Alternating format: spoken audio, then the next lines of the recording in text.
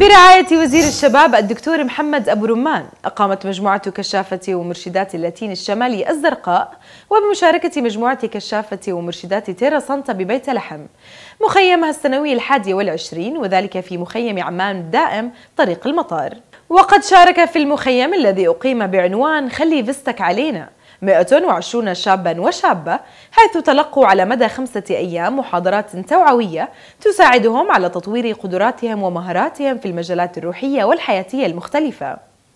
وفي ختام الفعاليات زار المشاركون في المخيم كلا من العقبة وبترا ورم. جينا اليوم آه، لحتى نكون بين إخوتنا كشاف الدير اللاتين آه، الشمالي الزرقاء. لحتى نجدد آه، كالعادة مخيماتنا بالشراكة معهم لحتى نكون مجموعة واحدة لحتى نفتح سبل جديدة بالتواصل بيننا وبينهم رغم إنه سبلنا كثير قديمة بالاشتراك معهم بالمخيمات بالأنشطة بالفعاليات المتعددة والمختلفة. آه، طبعا كثير مبسوطين كوننا بالأردن. بنحس حالنا بوطننا. الثاني أكيد. جينا نآزر آه، مجموعة كشافة مرشدات آه، الزرقاء دير اللاتين الزرقاء لأنهم كثير بيعزوا علينا. هم وباقي المجموعات بالأردن كاملة. بنحب إحنا أن ندعم ندعم المجموعات بحضورنا.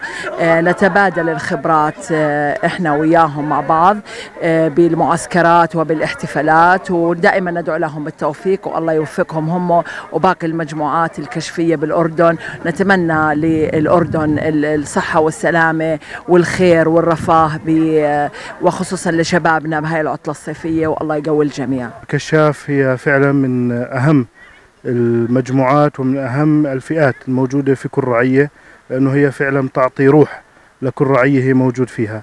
آه، شغلنا مع آه، مجموعة الكشاف هو من ناحية روحية متابعة روحية لأنه الكشاف كتابع للكنيسة وحركة عالمية هو لبناء الفرد من جميع النواحي من ناحية ثقافية اجتماعية وأيضا من ناحية روحية. وكمان من أهمية أنه فعلا الشباب هم لهم دور كبير في كل رعية هم موجودين فيها. وقداسة البابا فرانسيس مؤخرا حكى أنه الشباب هم بناة المستقبل وأيضا هم بناة الحاضر. ومن هذا الباب إحنا فعلا ككهنة وكمرشدين روحيين نشتغل مع فئات الشباب الموجودة.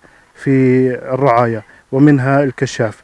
وفعلا بداية هذا المخيم إحنا حبينا نكون موجودين حتى فعلا نعطي آه، الشباب الروح والمعنوية وإحنا كمان نشاركهم دائما في جميع نشاطاتهم حتى كمان يشعروا بحضور الكاهن وأهمية حضور الكاهن في في حياة الكشاف وأيضا يشعروا بحياة الروحية وأهميتها في المجموعة الكشفية. أول إشي بشكر قيادة المجموعة اللي خلتني أوصل لدورات قيادية وأخذها وأوصل من قائد ومساعد قائد وحدة لقائد وحدة.